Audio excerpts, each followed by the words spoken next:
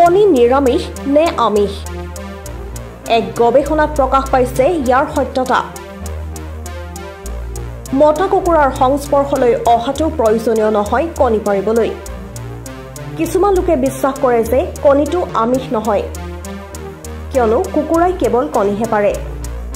একে সময়তে নিৰামিষভোজীসকলে কয় যে কণীৰ পৰা পোৱালিটো ওলাই আহে সেয়েহে ই আমিষ।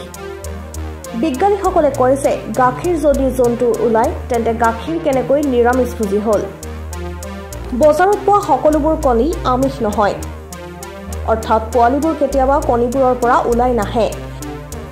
এই যুক্তি অনুসৰি কণীক আমিষ বুলি গণ্য কৰাটো সঠিক নহয়। এই সন্দৰ্ভত বিজ্ঞানীসকলে বিজ্ঞানৰ জৰিয়তে এই প্ৰশ্নটোৰ উত্তৰ উলিয়াইছে। কণীৰ ওপৰত কৰা এক গৱেষণা অনুসৰি কণীত তিনিটা স্তৰ থাকে। প্ৰথম বাকলি দ্বিতীয় বগা অংশ আৰু তৃতীয় কণীৰ কুহুম। যাক য়োগ অৰ্থাৎ হালধীয়া অংশ বুলি কোৱা হয়। কণীৰ বগা অংশত কেৱল প্ৰটিন থাকে।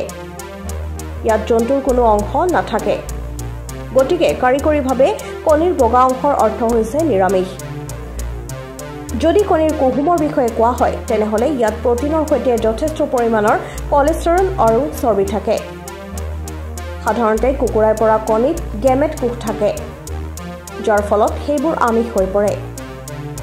সকলোৱে জানি আচৰিত হ'ব যে এটা কুকুৰাই ছমাহ বয়সৰ পিছত কণী দিয়া আৰম্ভ কৰে আৰু প্ৰতি ডেৰ দিনত কণী পাৰে।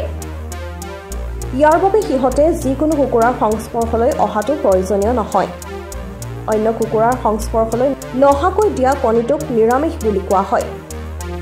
বিজ্ঞানীসকলে দাবী কৰে যে এইবোৰৰ পৰা পোৱালি কেতিয়াও ওলাই আহিব নোৱাৰে। সেয়েহে বজাৰত পোৱা কণীবোৰ কেৱল নিৰামিষ শ্ৰেণীত গণনা কৰা হয়।